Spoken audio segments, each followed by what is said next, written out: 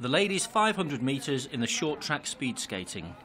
Four skaters in each race, the first two into the semi finals. The race over four and a half laps of the track, so a fast start vital.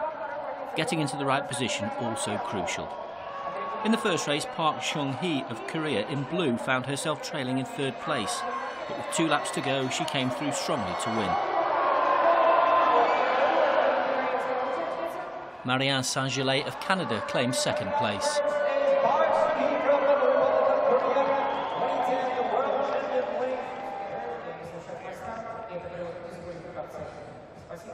In the second quarter-final, Kexin Fan of China led from the front and never looked in any danger. Elise Christie of Great Britain kept in touch, and Jessica Hewitt of Canada fell as she tried to force her way into contention. Fan Kexin's time would be the fastest of the quarterfinals.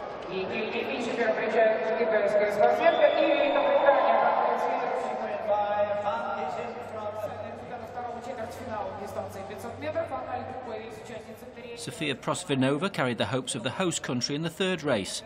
The Russian skater was always off the pace. Liu Qiuhong of China in the red and Jorien ter Mors of the Netherlands led throughout the race and went through as qualifiers.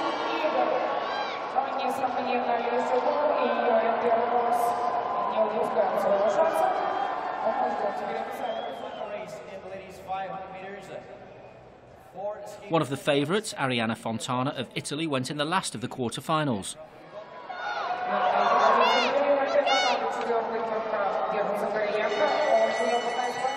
Fontana in black cruised to victory, with Li Jianrou of China joining her in the last eight.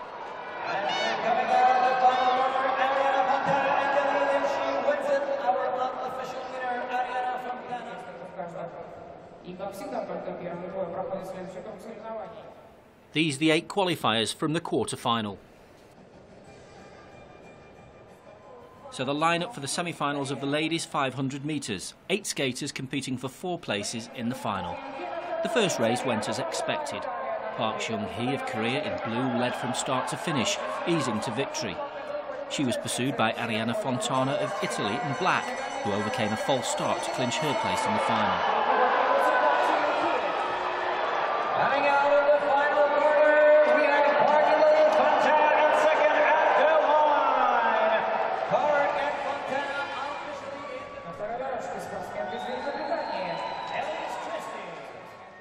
The second race wasn't quite as straightforward. Three Chinese athletes in the lineup, the challenge led by Fan Kexin, strongly tipped to do well in this event. This wasn't a race that Fan Kexin would want to remember.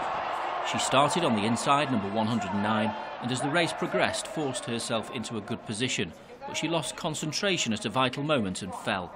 Her chances of Olympic glory had gone. The race was won by Elise Christie of Great Britain in the white top. Second was Li Jianrou of China, who will also qualify for the final.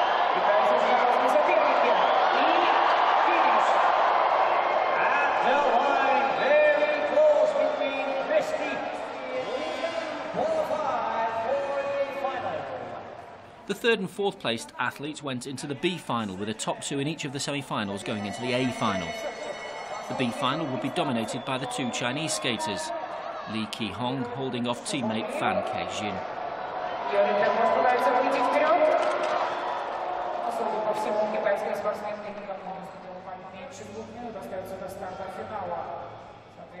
These the four skaters going for the medals in the A final.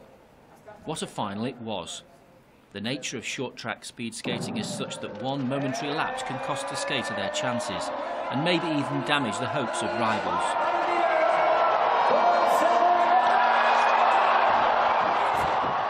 Elise Christie of Great Britain in the white top was to play a key role in deciding the outcome. The race was about to take a dramatic twist. As the skaters approached the end of the first circuit, Christie brought down two other skaters, Arianna Fontana of Italy in black and Park Seung-Hi of Korea, both serious contenders for victory. All three saw their hopes of a gold medal end suddenly. It presented Li Jianrou of China with one of the easiest victories of her career so far, her first Olympic Winter Games, and she couldn't believe her luck. All she had to do was stay on her feet, and the gold medal belonged to her, a gift she wasn't going to give up. Li Jianrou had trained hard for an occasion like this and would admit she was lucky to win in such a way. Chinese skaters have traditionally done well in this event, an emotional moment for their team. Referees decided that Elise Christie had caused the crash and she was disqualified. The two other skaters who fell picked themselves up. Arianna Fontana won the race for second place and Park Seung-Hi was third. This, the result of the ladies' 500 metres final in short track speed skating. China in first place with Italy second and Korea third.